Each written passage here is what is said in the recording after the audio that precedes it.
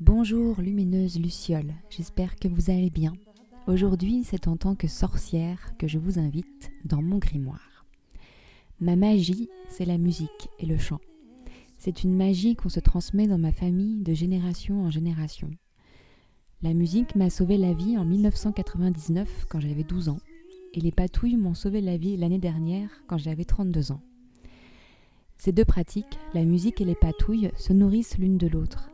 Elles me permettent d'explorer et d'exprimer ma créativité en profondeur et de rester à l'écoute de mon intuition et de mes aspirations profondes.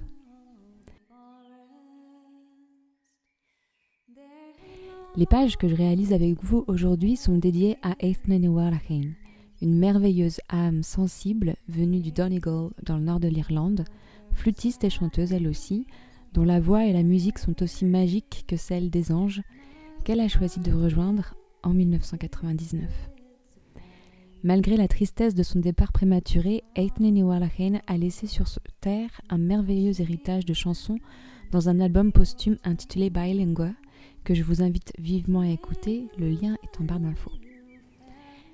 Je me sens intimement liée à sa musique et à son énergie qui m'inspire et m'accompagne chaque jour. Pour réaliser ces pages, j'ai commencé par créer un sigil en hommage à Etnene en utilisant les lettres de son nom complet. Puis, en supprimant les voyelles et les consonnes doublées, je me suis laissé porter par la magie des lettres restantes T, H, L, N et C pour réaliser le sigil. J'habille ensuite les pages avec des papiers recyclés que j'ai peints et qui me permettent de faire un fond. J'en profite pour vous glisser que ces papiers sont disponibles à prix libre et conscient en fichier imprimable dans ma petite échoppe sur le site Les Patouilles de Lucie, dans une collection que j'ai appelée Luciole magicienne.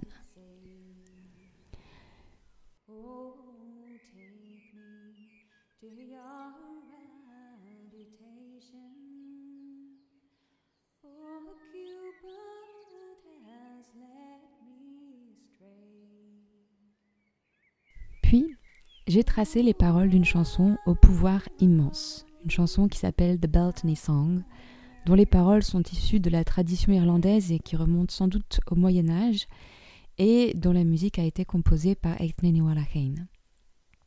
Cette chanson parle de l'été, de la lumière, de la chaleur, et je dis que cette chanson a un pouvoir immense car j'ai pu l'expérimenter dans une maison où j'ai vécu en Nouvelle-Calédonie.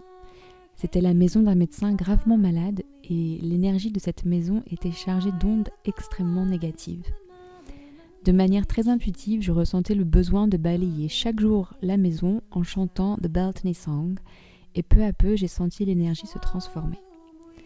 Je ne pourrais pas vous expliquer de manière concrète comment ça s'est passé, c'est une expérience qui se vit plus qu'elle ne se raconte. Et aujourd'hui, je continue ce même rituel car j'habite encore dans un, ancien cabinet médical et à force de chanter, de jouer de la musique dans chaque recoin de la maison, l'énergie se transforme.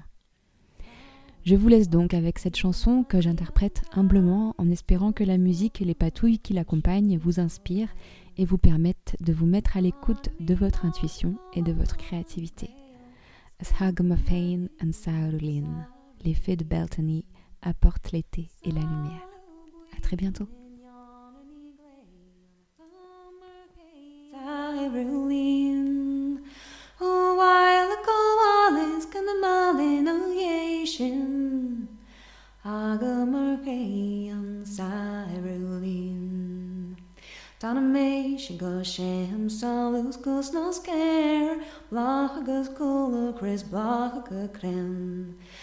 Dan nog juegas me ge mi a shell a pleasure Cause haga a ge and saululin Saulu buin in yon an igle and mer ge an